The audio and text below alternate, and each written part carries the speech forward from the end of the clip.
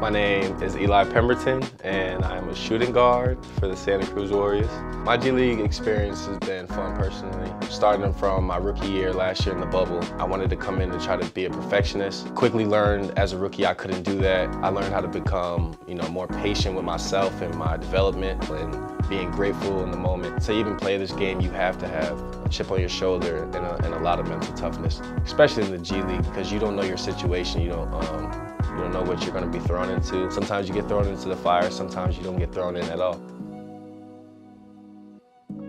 Pretty much what I do from starting my mornings at 6 a.m., meditate, yoga, kind of just uh, stay in a sound mind, get ready to go to practice around usually 9, 10. I think it's, it's a serious thing when you stay grounded into the earth, uh, grounded on self. You know, this, this world can get crazy, the basketball world can get crazy, especially in the G League. So sometimes it's good to just sit down, center self, and be grateful for what's in front of you because a lot of people, uh, you know, don't get this opportunity.